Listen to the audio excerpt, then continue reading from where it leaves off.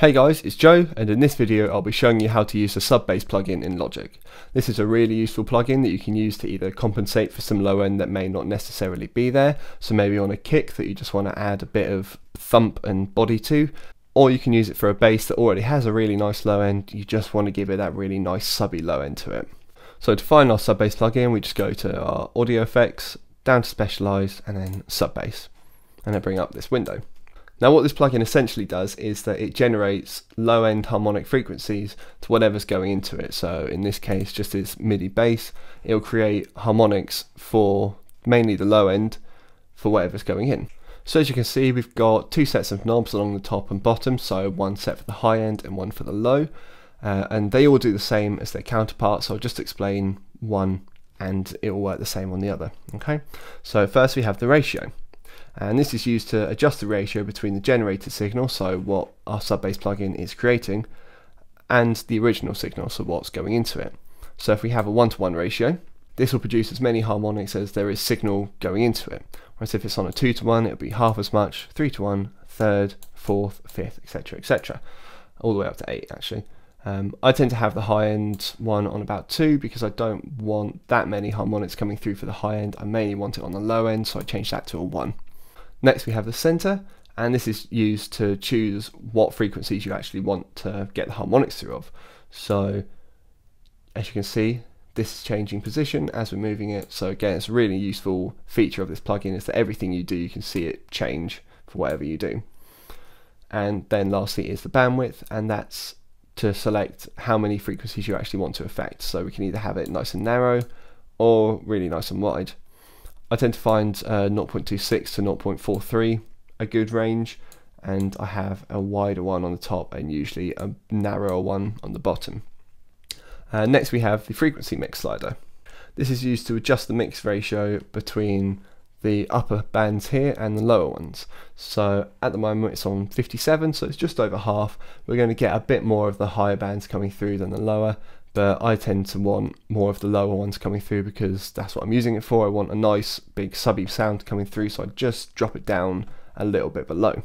And then lastly, we have the dry and wet sliders. And the dry slider is just the, how loud the original signal is. So if this is on 100, that's going to be as loud as it is without it. And then the wet signal is how loud you want the harmonics to be that this is generating. So if I were to have this on zero, it won't be doing anything. It will just be essentially like this is in bypass and we'll be getting the original signal coming through.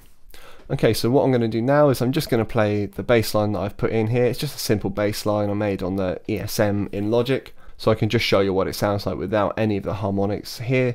And then we can mess about with the parameters to get it sounding how we want it to. And then we'll slowly bring in the wet signal, okay?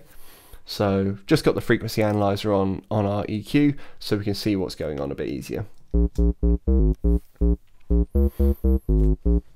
Okay, so that was it without, and a lot of the main frequencies are about 55 to 60 over here, and we just want to bring in some of them below that. So I'm going to set it to about 50 to really bring out that super low end. And then we had some bits going on over here, just over 200, so that'll be our high end that we want to add more harmonics to as well. Okay, so what I'm going to do now is I'm going to actually bring this all the way up to 500% and turn the dry off. So this is what is generating without any of our dry signal coming in. This is purely what the sub-bass plugin is creating.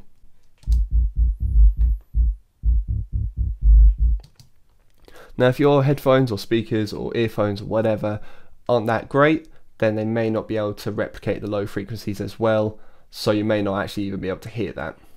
But for those that can, you can hear that it's that really, really low end of it that we're getting through, and I'll just show you purely what the low end sounds like and then the high end. So it just sounds like a sub bass.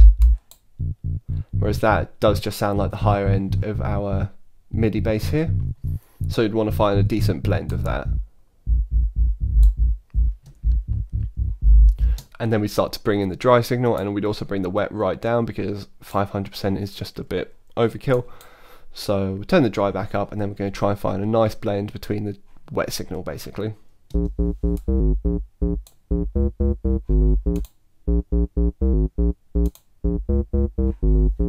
So it's kind of adding a bit of grit and a bit of body and sub just to that low end of it. This is a really useful tool that can be used in a variety of ways, as I said earlier, to either compensate for some low end that isn't perhaps there, or just to bring out some more of that body on something that sounds great already. I hope you found this video useful, and if you have any questions, please leave a comment or contact me via my website. Thanks a lot for watching, cheers.